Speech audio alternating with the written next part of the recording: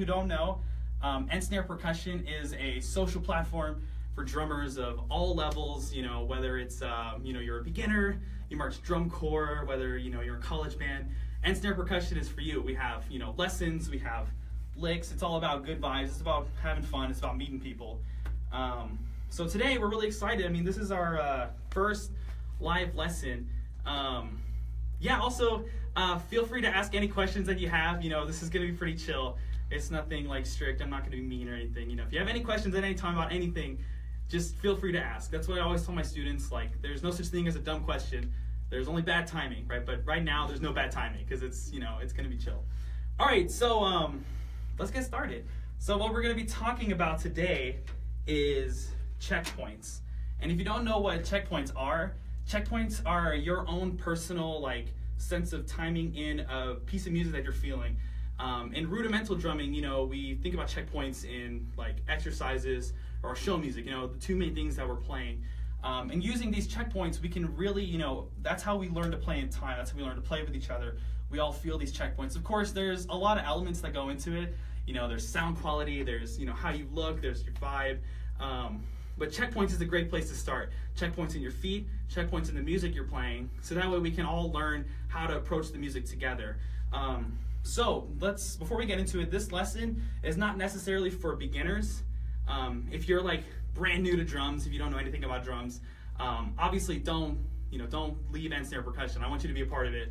But this lesson's for people that have a little bit more of a foundation with, um, you know, with rudimental drumming or, you know, any kind of drumming in general. They've already like moved on a little bit. They have a little bit more of a solid foundation. You know, I'm thinking like advanced middle school players or high school players. Um, you know, maybe some college kids, drum corps kids. At the point when you're in drum corps, like you know, you already understand checkpoints. This is like bread and butter for you. You like you got this down.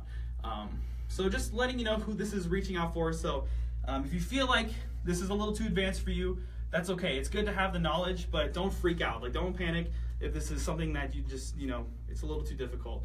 Um, all right, so let's get started. We're gonna start with a basic exercise. Right, we're gonna start with eights, everyone's favorite exercise.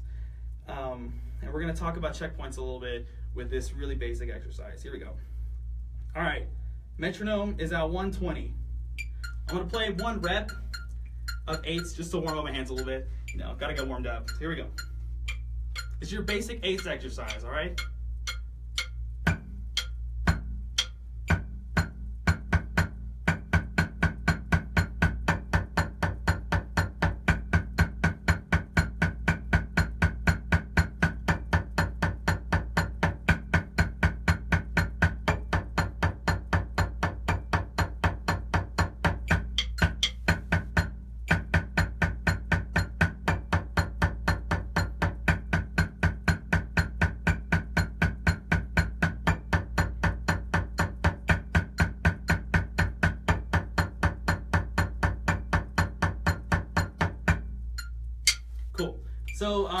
Just you know the format of the exercise, super basic. It's just your basic 8, 8, 16. You have 8 on the right hand, you have 8 on the left hand, and then you have 16 on the right hand. And then you have 8 on the left hand, 8 on the right hand, 16 on the left hand. Cool. That's the exercise we're to look at first. We have a couple, but we're to start with that one.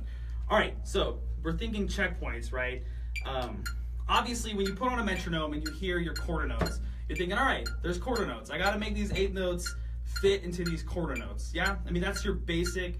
Like everyone kind of knows that if you have a solid foundation of drumming, right? We know that two eighth notes fit into one quarter note, right?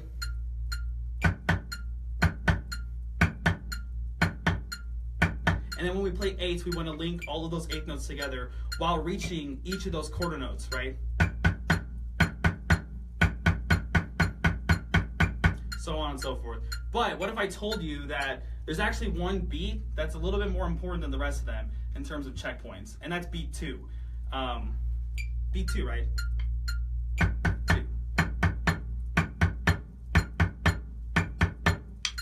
And if you're wondering why beat two is so important, just think to like drum set stuff. You know, when you put on a metronome, and someone if someone were to play drum set to this, they probably play like right? You know, and you would hear that snare, you'd hear that backbeat on two, four, right? So that's kind of the idea that we're gonna take into our rudimental playing. Okay, so when you're playing eights, don't ever just think that eights is like a super easy exercise, right? We wanna actually make sure we're finding checkpoints.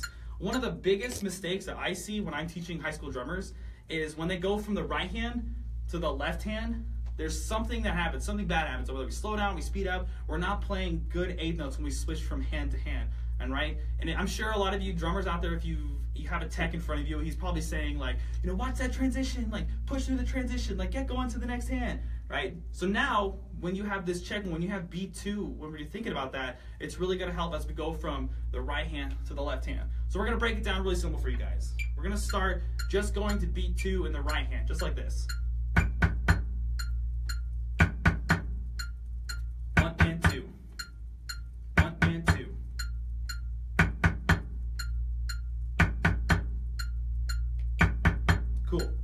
So do that a few times. Get used to how it feels going from beat one to beat two while playing perfect eight notes. Just do it a bunch.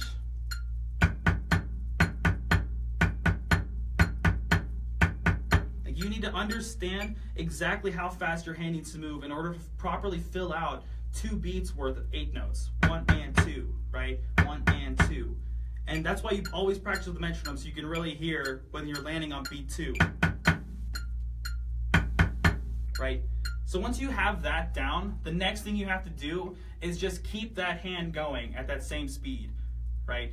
Eights is a really easy exercise because the hand is always moving at the same speed, right? We're always moving at eight notes.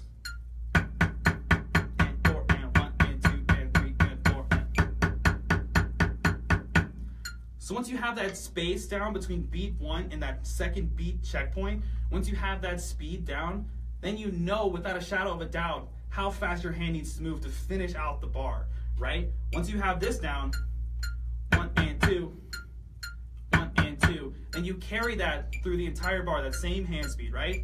It's like this. One and two and three and four and one and two and three and four and cool. So what I was saying earlier about transitioning from your right hand to your left hand, like that's the tricky spot, right? Because obviously we're going going from one hand to another. You know, for young drummers, even you know college or you know some high school drummers, they still have trouble, you know, getting from the other hand, you know, while staying in time. So once you have that right hand mastered, you have that speed down. What you want to do is tag on that left hand, stopping at beat two, like this. Two, ready, go.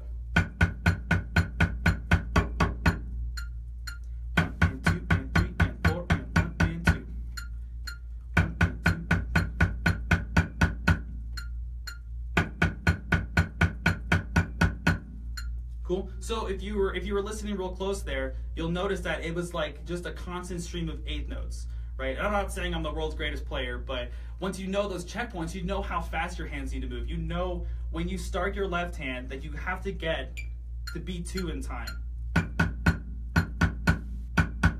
Right? The tendency is to miss beat two, right? A lot of people will do this. and they'll miss beat two. There's a little bit of a there's a little bit of a flam between my note hitting the drum and the metronome hitting beat two. It's like that was a good one. Here, let me try and do a bad one. Right, there's like a flam. Whether you're early or you're late, the tendency can vary. But the point is, you miss beat two with that left hand. So when you're thinking about the exercise, right, do what we did with the right hand, do it with your left hand. Like break it down.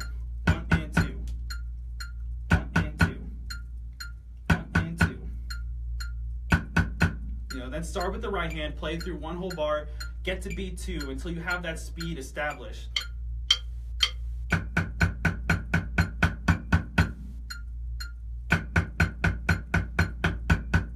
Right? And then when you have that speed down, when you know how it feels to go from beat one to beat two, and then from beat four to beat two in the left hand, then you play the whole thing like this.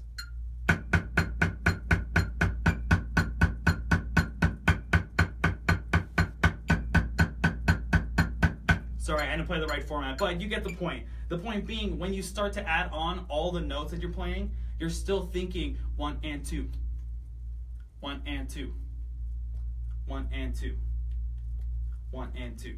Got it? Does that make sense? Um, so, and remember, this this thing, this thing about checkpoints, like no matter what tempo you're at, like if I if I'm your tech, and I come up to you and I'm like, all right, eights. Here we go. Tap it off. Aiden Moran. Like no matter what, you're already thinking two, two, two, right?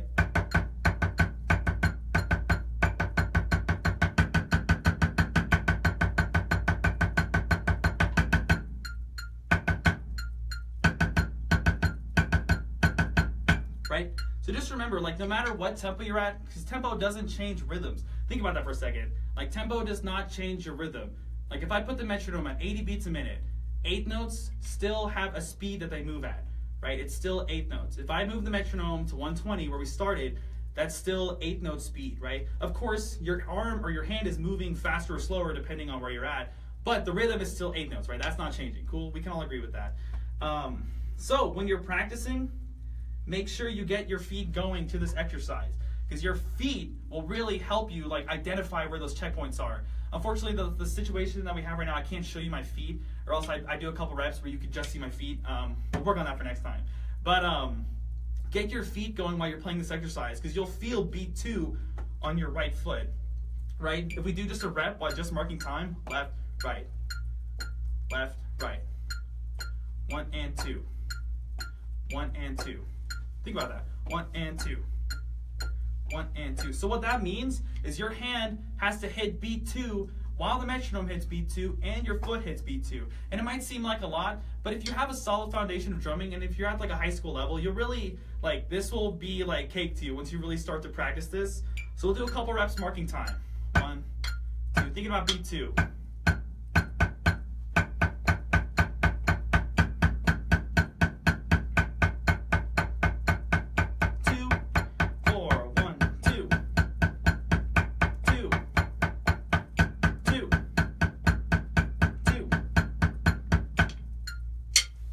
Do one rep.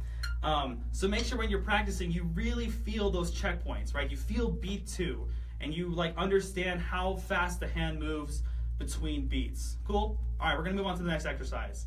All right, the next one, another basic exercise called double beat. This is this is one of my favorite exercises. Um, this one is used to really work on you know roll speed. Like we start at a slow tempo, you know.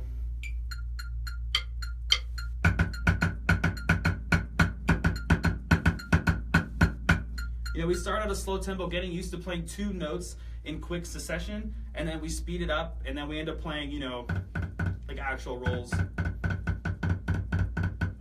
Um, a little plug real quick. Um, one of my other lessons that I talk about, I talk about how to play diddles like the professionals, right? You know, diddle quality, that sort of thing. And this exercise is one of like the base, this, the, one of the foundational pieces for that exercise. All right, so we're gonna talk about checkpoints in double beat. Um, you can always think about beat two, right? Because remember, you can always think back to that rock groove, right? One and two and right, whatever. You can always think back to that. But in this exercise, there's a really big checkpoint that we all need to reach together while we're playing double beat. All right, and it's beat three. Here we go. Check it out. It's beat three. Three,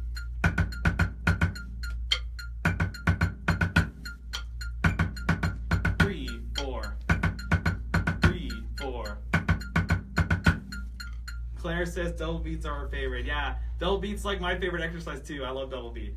Right? Beat three, right? Three, four. Three, four. All right, so now that you know what the checkpoint is, we'll break it down a little bit more so you can get to that point, um, you know, with a solid understanding. Right, so double beat, four beats, right? Four, four, one measure, just like this. Oh, crap. Right, one measure, simple.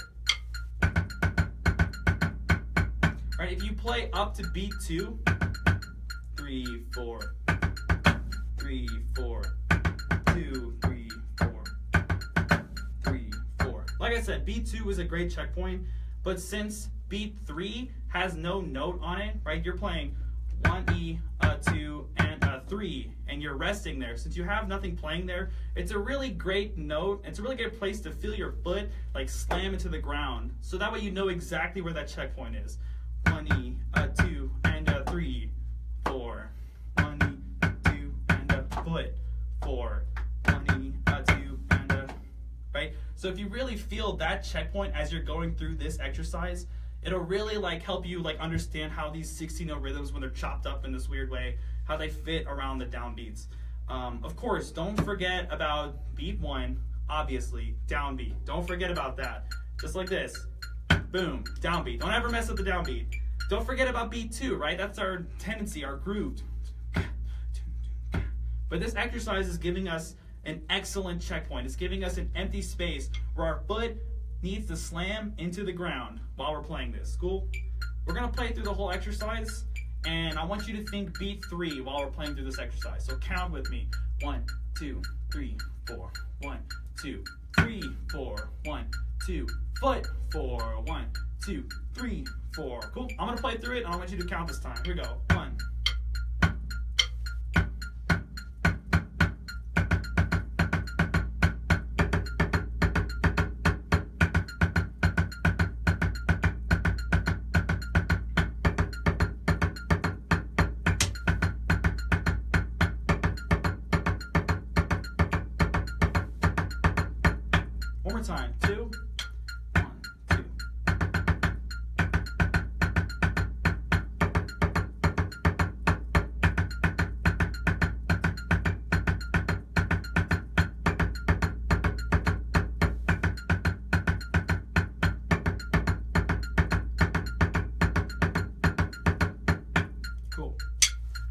Were you feeling beat three through that exercise? Like were you actually counting one, two, three, four, one, two, three, four, right? Make sure you're actually feeling beat three when you start to play through double beat. Once you have that speed down, once you know exactly how it feels to go one, a two, and a three, one, a two, and a three, when you know how that feels, when you have that speed down, just like we talked about with eights, where your hand is moving at a similar speed, your hand is literally doing this the whole time, right?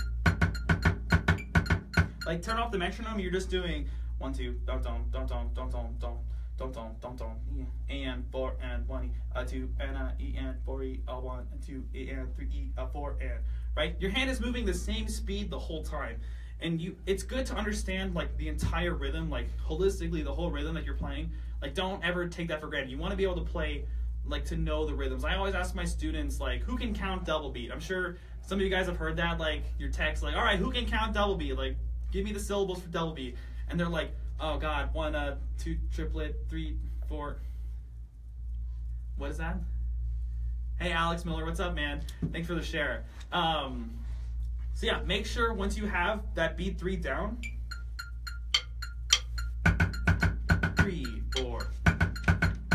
When you have that space down when you know exactly how it feels to move your hands in time around that empty space then you lock your hand and you just move it at that speed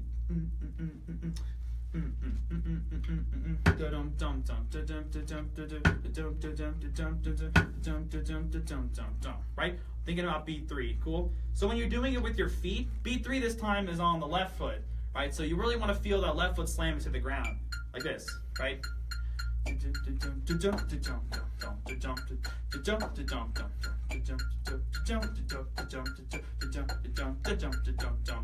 And hey, uh, real quick on the uh, so the format of this exercise, I know we didn't talk about it at the beginning. The format is similar to uh, eights, where it's you know one measure on the right hand, one measure on the left hand, two measures on the right hand.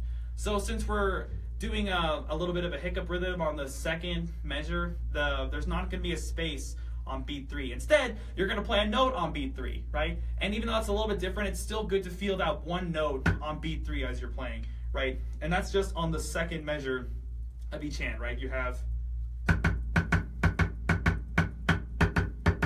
three, four.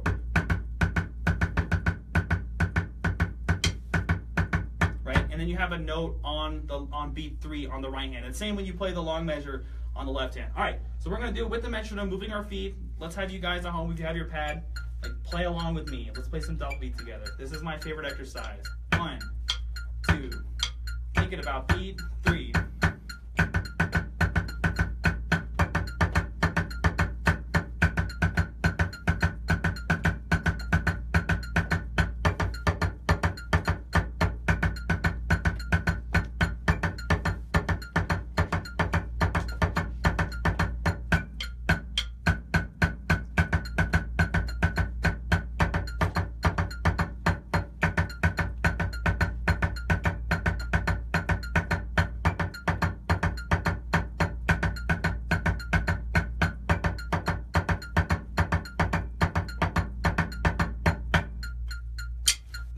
Hey, um, if you're just joining our first ever live lesson, thanks for stopping by. Um, we are currently on our second exercise where we're breaking down checkpoints. Um, just a quick reminder for you guys that just joined checkpoints are the downbeats that you're feeling in they're the big beats that you feel in your exercises or your show music right if you're in 4-4 you know essentially you have four checkpoints you have four beats that all your music revolves around you know whatever rudiment whatever rhythm whatever pattern you're playing they all fit into like four beats if it's 4-4 you know five beats five four whatever whatever time signature you're, you're playing in you know you have those checkpoints that you're fitting around so what we're talking about is how to isolate like certain checkpoints in an exercise that'll really help like your understanding of rhythms. The first one we talked about, we talked about eights, where you want to find beat two in your exercise, right? Just a quick recap. Here we go. Just a quick recap before we move on, right? So just when you're playing eights, right? Three, four, one, two, three, four, right? You want to find beat two in your exercise while you're playing, right? One and two. One and two. One and two. One and two. Etc. Etc right? Because the tendency is when we go from the right hand to the left hand, we forget to find beat two in time with the metronome, right? We don't get to beat two in time. We're either too fast or too slow, depending on you know how fast you're playing it or the line that you're in. Um, so make sure that you're thinking about beat two when you play eights. In an exercise like double beat, the exercise we were on, we're really feeling, um, we are really feeling beat three three and four and one e a two and a three E and four and one a two and a three E and four e a one and a two e three a four and one a two and a e and four so on and so forth right? B3 is our big checkpoint because for the majority of the exercise there's this huge space where nothing happens except a foot hitting the ground right? Foot. Foot. Right? So when you put on the metronome find that B3 space.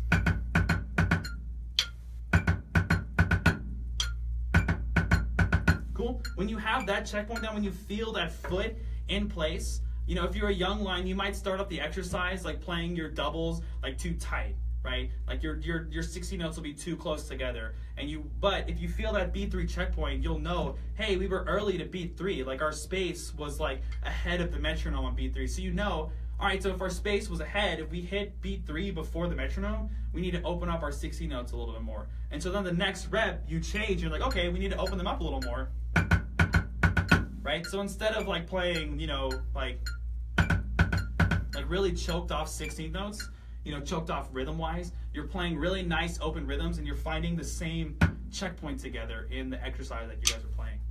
Cool. Um, yeah, so that's what we have for double beat. Does anyone have any questions so far? I don't even know how many people are watching. Uh, my girlfriend's manning the camera. She's awesome. Um, but you know, if you guys have any questions, feel free to ask at any point. What's up? Okay, yeah. Hey, um, so we're gonna do one more exercise. And we're gonna make it quick. We don't have too much time left. Um, so we're gonna do a, a quick roll exercise. Let me play for you guys real quick.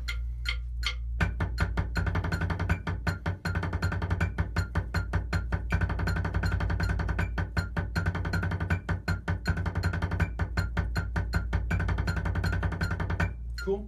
So it's your basic short, short, long where you have a short check two, and, and then you have a short roll.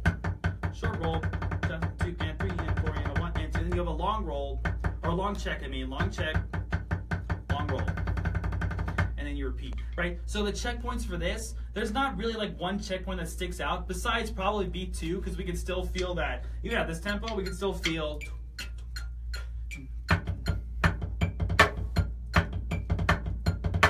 right? We can still really feel that groove happening. Um, so when you're playing this roll exercise, what you really want to do is like take those checkpoints and there's there's those four that we're feeling, right? We're in 4-4 still.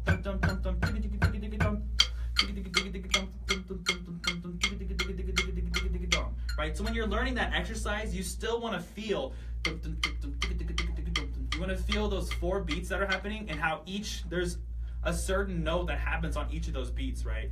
Like the first four, the first two beats that we have.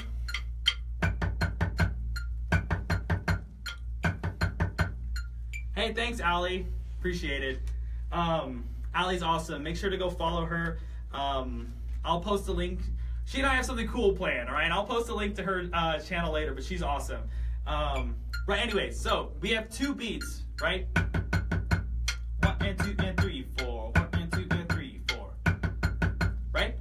We know the roll has to start on beat three, right? Because the first two beats, the first two check ones we have, one and two and three, are just check. One and two and three. So if you start the roll early, like which a lot of people will do, they'll rush through those checkpoints. They won't fit those eighth notes to those quarter notes, like this. Right? Right? They'll, and of course, I'm really like over dramatizing it so you get the point. But they will rush through those quarter notes, and all of a sudden the roll is not starting on beat three, and we have a crappy roll. And the techs are like, "What the heck's going on? Like, why is this roll so bad?" Right? So make sure you're waiting to get to beat three. Right? Three, four, and two, and three, and four. Three, four. Right? And if you think about it with your feet, you have beat one is your left foot. You have beat two is your right foot, and you have beat three, the note we're getting to, as your left foot again. So if you put it all together, you know that you can't start the roll until you get to beat three, which is the left foot, right? Left, right, left. Left, right, left. Left, right, left.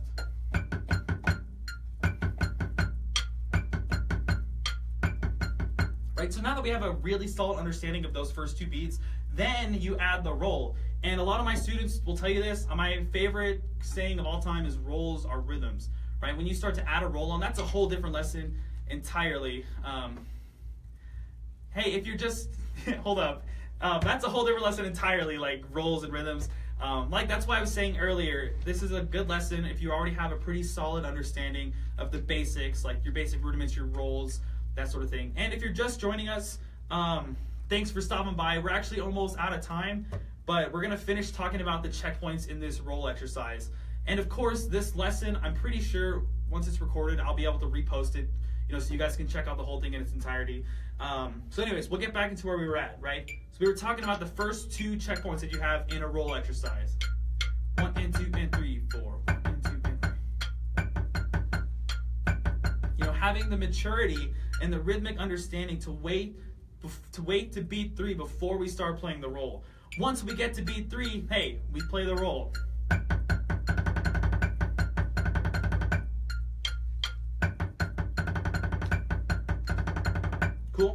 Like I was saying, um, rolls, like understanding rolls themselves, is an entirely different lesson, which I have on my YouTube channel, which you guys can find later. I'll post a link to it later.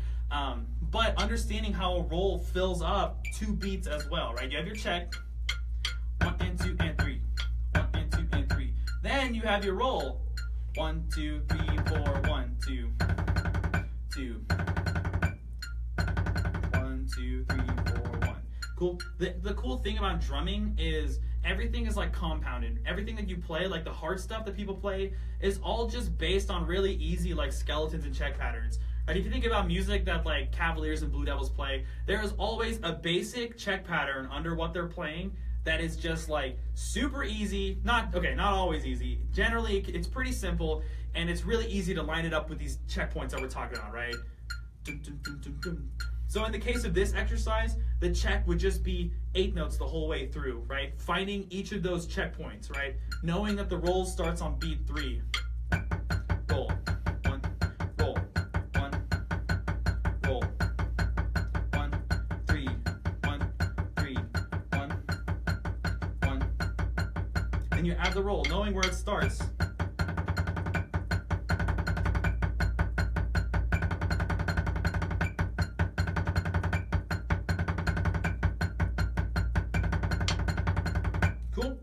Once you have that understanding of where every aspect of this exercise starts, like you know the check starts on beat one, you know the roll starts on beat three. Then when you put it all together, you know you have you have to have the maturity and the patience to actually get to that beat before you start playing.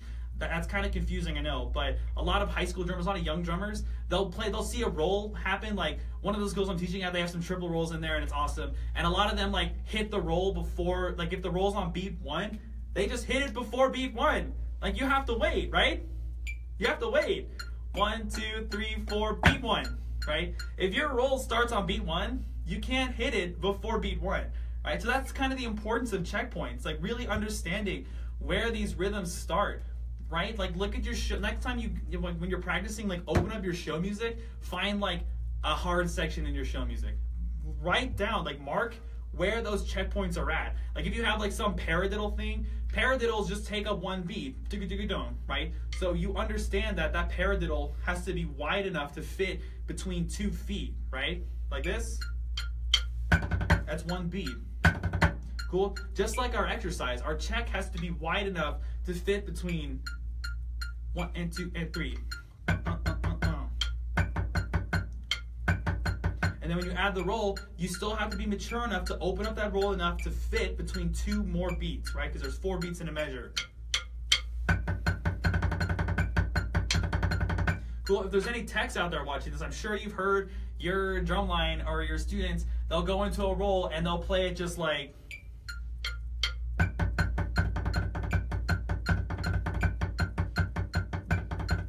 you know, something like that. And that's not bashing anybody. It's just, you know, it's just an element of honesty that's really in crucial. It's really crucial to growing as a percussionist. Like understanding, like, hey, I'm not finding my checkpoints, right? Okay, that's all we have time for. Um, just a quick rehash before we end this lesson. We talked about eights, right? We were at 120 beats a minute. We talked about beat two, most important beat in eights, right? Once you hit beat two, you know exactly how fast your hand needs to move, right? Because eights, you're playing every single note.